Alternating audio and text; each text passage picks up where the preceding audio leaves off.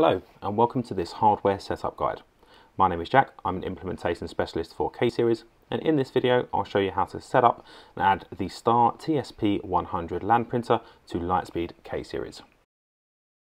Firstly, we'll look at how to connect power to the printer, then connect the Ethernet cable to the printer for a network connection, how to add the paper roll, how we add the printer to the back office, and finally, how we can test the installation has been successful via the POS app. To connect the printer to power, firstly make sure the bottom panel has been removed and plug the power cable into the connection shown on screen. To connect the printer to a network, plug the Ethernet cable into your LAN port. It will click when inserted properly and ensure the other end is correctly plugged into your router. To add your paper roll, lift the top panel open with the lever on top and place the paper into the printer with the leading edge feeding from the bottom of the roll.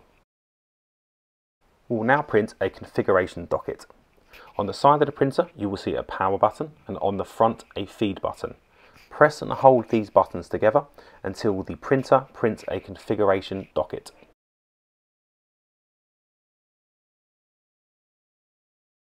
On the configuration docket, please locate the IP address and make a note of this. We can now add the printer to your back office. Once logged into the back office, go to Configuration, Printing, and then Printers. And then click on Add Printer. You can first give your printer a name,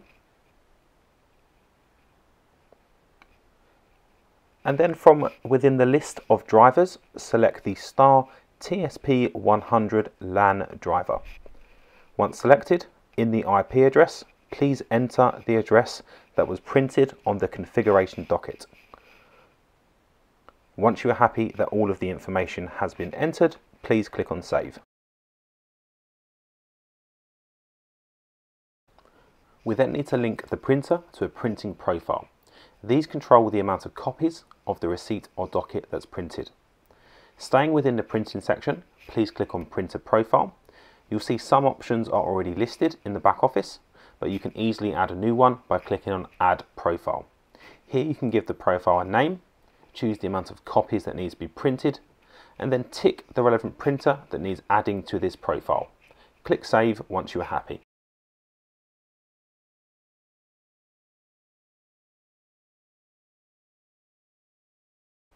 The next task in the back office is to enable the production centres. These can be thought of as the printing destination for order dockets. The common examples of these are bar or kitchen. To access these, stay within printing and then select production centres. Again, you'll see a couple of options already listed, but you can create a new one by simply clicking Add Production Centre. Here you can enter the name of the production centre and then select the relevant printer profile from the drop-down list.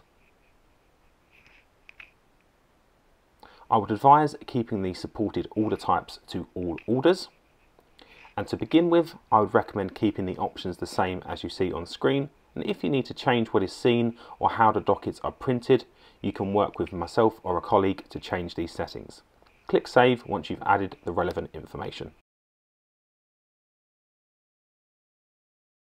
Your final task in the back office is to ensure that the correct production centre has been added to the correct accounting group. As you may remember from the first webinar, the accounting groups control where items are printed. To enable this, go to Menu Management and then Accounting Groups.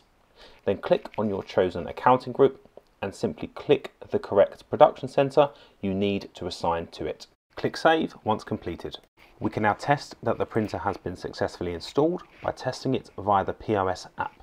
To do this, please log in to the K-Series app and head to the main register screen. Firstly, in the bottom right hand corner, please refresh the app to ensure that it is up to date with the back office. Once refreshed, head back to those three dots and click on the printer icon. When in the printing center, you'll see printers and print jobs at the top. Click on printers and then you'll see the printers you have added in the back office.